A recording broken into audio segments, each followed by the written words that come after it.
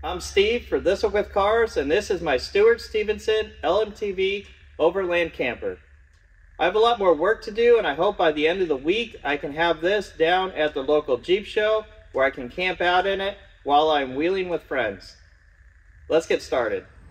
My plan is to mount with some angle iron these channels to the frame of the camper.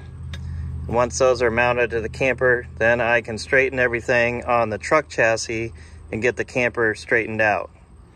Angle irons in place. The channel has been centered both this way and this way, ready to make a bead across the top to hold it all together. Then the channel can be taken out, everything welded together properly. Then I'll set it back in, weld it across here.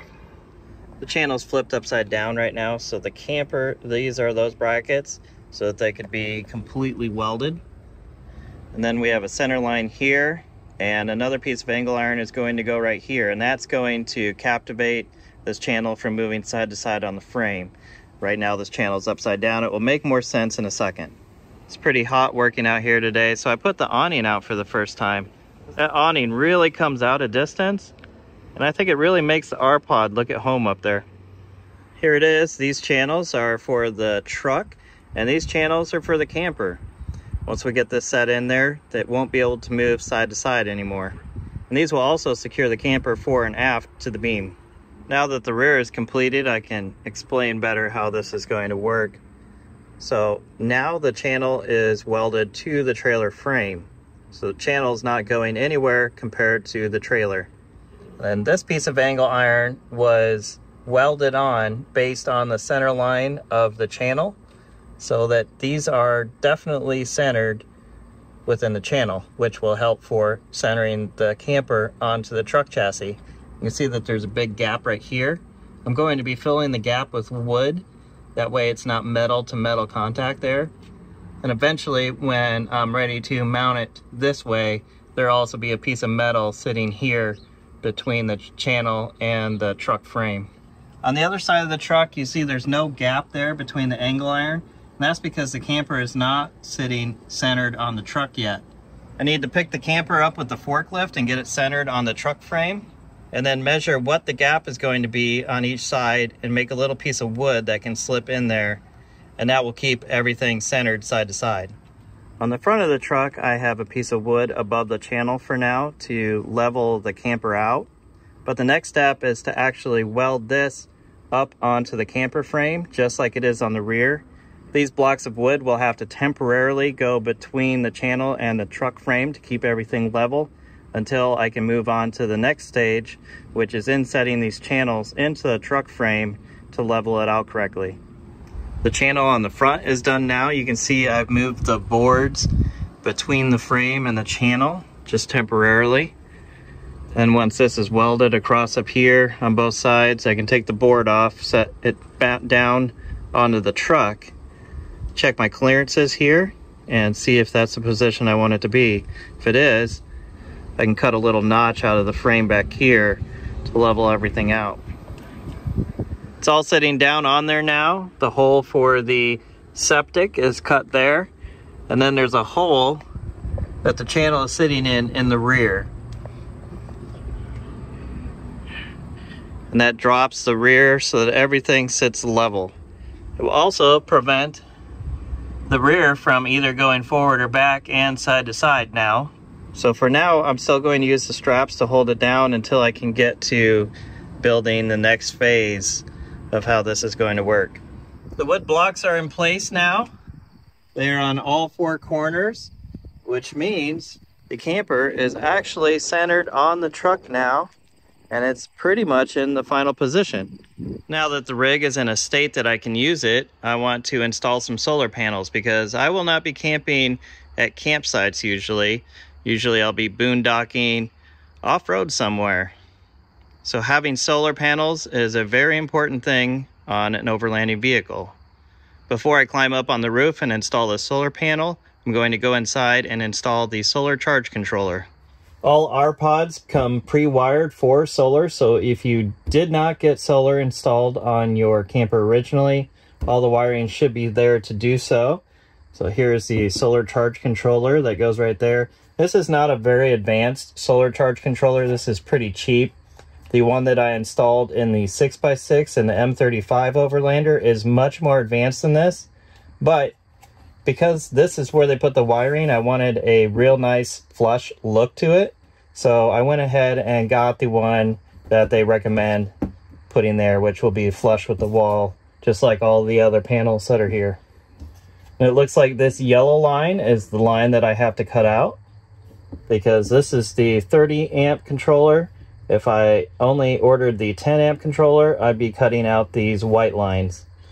Let's cut this out and see what's behind it. It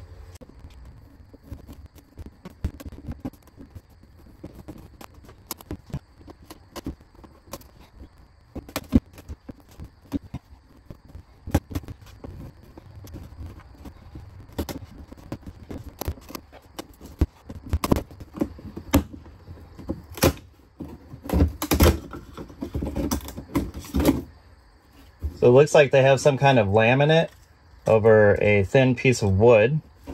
The wires are tucked back in here. Here are the two that I was looking for.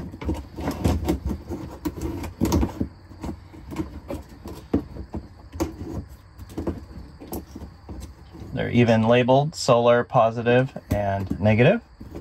And the way that this works, you just cut these wires in half and then put the solar charge controller in between. This end runs up to the solar panels and this end runs down to your batteries.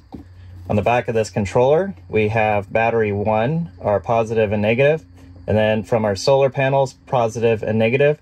And if we wanted to charge a second battery, we could. What this controller will do will charge the first battery completely, and only if that is charged, it will start to charge a second battery as well. I'll cut this wire and get this installed. Then we'll go up on the roof and install the solar panel.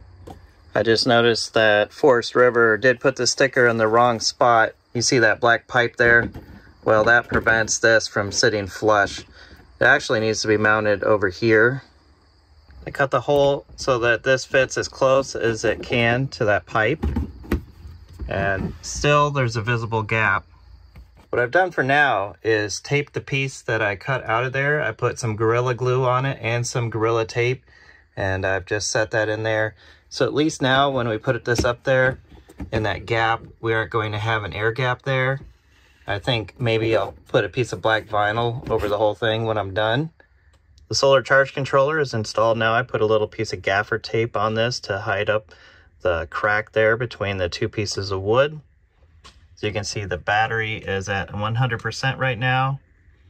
And it thinks it's nighttime because I don't have the solar panel plugged in. Here is the pre-wired ports for the solar panel. There's not much room up here for anything but this one big panel. So I'm glad that I got uh, almost 200 watt panel to put up here. I think over in that corner, I will install a 24 volt panel to charge the batteries on the truck. But this one should work just fine because everything inside this tiny camper, besides the air conditioning, do not take much power. So I can just take these little plugs off the end here. The connectors for the solar panel have male and female plugs, so there's no way of connecting them incorrectly. Just press them on.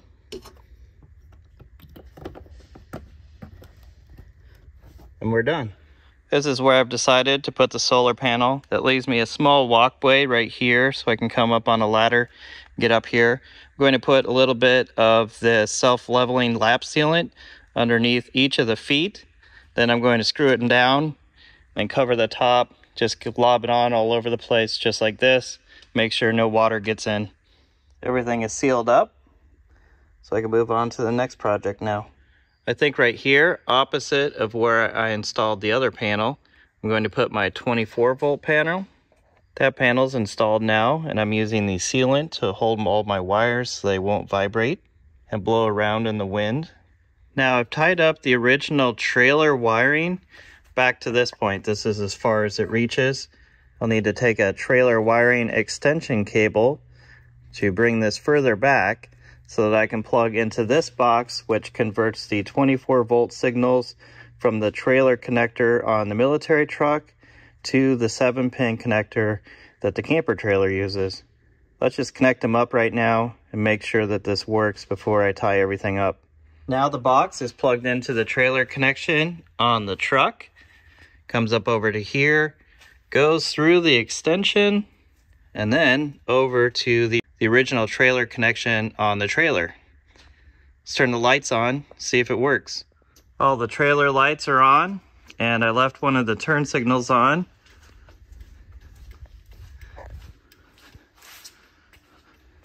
So that we could see that working. Now, the brake lights, the turn signals, the license plate lamp, everything should work along with the truck. I just need to permanently mount the box somewhere and then tie up all the wiring. The holder for the propane tank is really coming along. I think I'm going to bolt it up here, that way it's removable. If I ever need to set the camper back on the ground, this won't be in the way. I will need a spot to mount the regulator either over here or on the other side. Not sure if I want to include a gusset for that or just a little bracket. Not sure until I get this bolted up exactly how the finished product is going to come out. Here's the final design for holding the LP tank.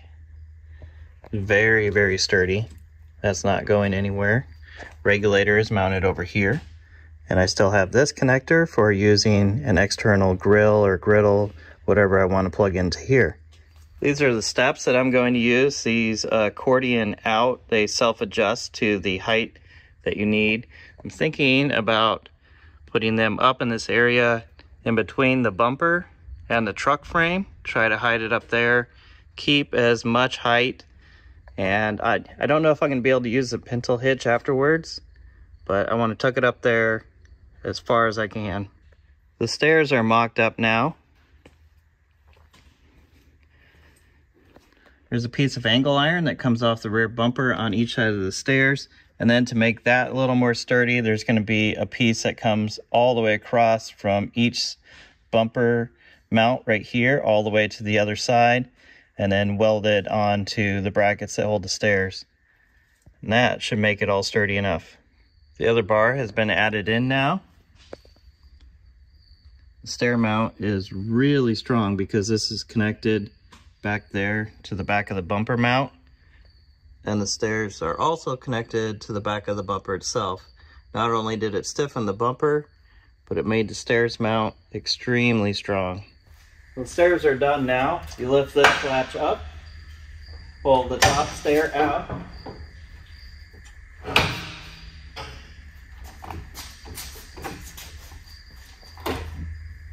And there you go.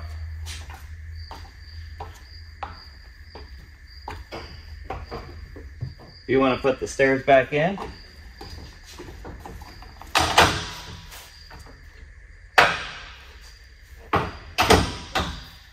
and then there's a little locking pin that goes through here and keeps the stairs coming out while you're driving. The old handle getting into the camper was pretty short, especially with how long these stairs are. There's one of the old mounts.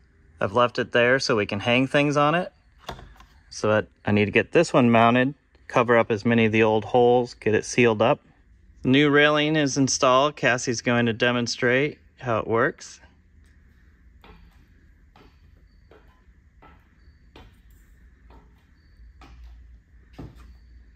It will be hot this weekend and I'm planning on not taking a generator with me.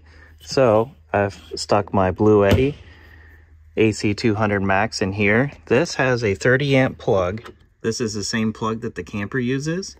So if I want to run my air conditioning, I can just plug it into here, turn my air conditioning on, and I can also recharge this off of the solar panels on the roof. Because this fits so well into my storage unit, this let me fix all of my electrical needs very quickly. All I had to do was add my solar panels on the roof so I have a way of charging this during the day. And now I have an inverter powerful enough to run my air conditioning as well as its own built-in battery that's going to be it for today. I have a lot of work still to do, but today I'm going to go camping with it. So if you want to see more videos like this, comment below and click subscribe.